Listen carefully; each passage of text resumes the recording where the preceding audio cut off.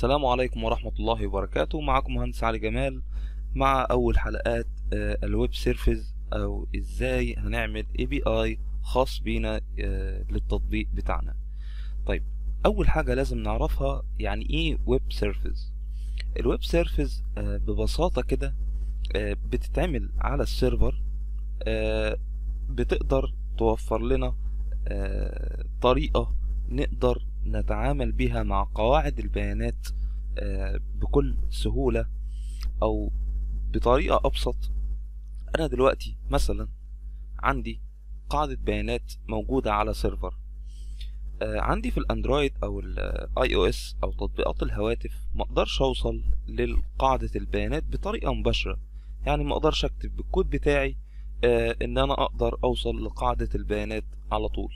طيب جه هنا حل ال web service إن هي تقدر آه، توصلني بقاعدة البيانات أقدر أضيف أو أعدل أو أحذف آه، من قاعدة البيانات أو إن أنا أستعرض منها البيانات. طيب ال web service برضو بطريقة تانية هي عبارة عن إيه؟ والله أنا أقدر أكتب ال web service بتاعتي بال PHP أقدر أكتبها بال ASP أقدر أكتبها بأكتر من لغة. طيب هي بتبقى موجودة فين؟ ال web service بتبقى موجودة على server تمام؟ ال server دوت هو اللي بيتصل بقاعدة البيانات بيجلب لي منها قا... بيجلب لي منها البيانات تمام؟ ويرجع لي البيانات دي على شكل JSON أو XML أقدر أقراها في التطبيق بتاعي طيب آه ممكن آه ال web service آه تقدر تخدمني في إيه تاني تقدر آه إن هي تتخاطب مع سيرفرات أخرى أو مواقع أخرى. يعني لو أنا. لو أنا عندي موقع آه، أقدر إن أنا أحصل على البيانات اللي داخل ال database عن طريق ال web service. طيب آه، ليه طيب لو أنا عندي موقع ليه أتصل آه، بقاعدة البيانات عن طريق ال web service؟ بكل بساطة كده أنا دلوقتي لو أنا عايز أحصل على معلومات من داخل قاعدة بيانات الخاصة بياهو. عايز أحصل على بيانات الطقس واستفاد بالبيانات اللي عندهم في الموقع بتاعي أو التطبيق بتاعي. فمن الطبيعي إن أنا هكتب داخل التطبيق بتاعي أو ال website بتاعي آه ال user name وال password الخاص بال database بتاعتهم.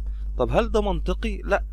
طيب آه الحل إيه؟ الحل إن ياهو توفر لي web service آه هي اللي هيبقى مكتوب فيها ال user name وال password وطريقة الاتصال بقاعدة البيانات وتقدم لي البيانات على شكل JSON أو XML. هنا فايدة ال web service. تمام؟ ده بكل بساطة كده آه، هي إيه عبارة آه، عن إيه؟ ال web service. آه، طبعا قلنا في ال application mobile هي بتفيدني جدا في التطبيق بتاعي بحيث لو أنا عندي تطبيق بيستخدم قاعدة بيانات عندي مثلا في سوق العمل هتلاقي إن أنت بيقابلك واحد عنده موقع إلكتروني بيقولك إن أنا عايز أعمل له application طب أنت حلك إيه؟ أنت هتعمل على ال server بتاعه آه web service آه تقدر تخدم التطبيق بتاع بتاعك إن تقرأ البيانات اللي أنت عايزها من داخل نفس قاعدة البيانات الخاصة بالويب بتاعه وتقدر تعرضها داخل التطبيق بتاعك وبكل بساطة تقدر تعمل الموضوع ده طيب أنا دلوقتي هديك مثال كده على Yahoo. Yahoo بتقدم لي web service اللي هي آه، الطقس. بتقدم لي البيانات على شكل JSON أو XML. مجرد إن أنا أكتب فقط ال ال ال URL الخاص بياهو اللي هو الخاص بالطقس. واقدر يعني أعرض البيانات آه، بال JSON عن طريق ال URL بالشكل دوت تمام؟ آه، البيانات اللي, أنا هستلمها من ياهو أو من ال API الخاص بياهو آه، هيبقى بالشكل دوت عن طريق ال JSON. لو XML هستقبلها بشكل إل بالشكل دوت تمام؟ دي الطريقتين إحنا هنستخدم في الحلقات بتاعتنا طريقة ال JSON آه ودي هتكون بسيطة جدا إن شاء الله. وإن شاء الله في بداية الحلقات هنبتدي الأول نعرف إزاي نقرأ من قاعدة بيانات خاصة بينا. هنعمل قواعد البيانات بإيدينا عن طريق ال MySQL وال PHP وبعد كده هنبتدي آه، نقدر نحذف وإزاي آه، نضيف لقاعدة البيانات بتاعتنا.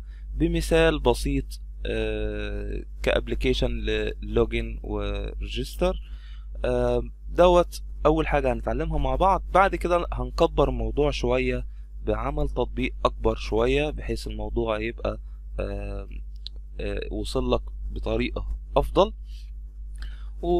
وبكده عرفنا يعني إيه web service وإن شاء الله من الحلقة اللي جاية هنبتدي نعمل ال web service ونشوف الأدوات اللي هنستخدمها في ال PHP وال MySQL وبكده أنهينا حلقتنا النهارده. بفكرك إن أنت تعمل like و subscribe للقناة. السلام عليكم ورحمة الله وبركاته.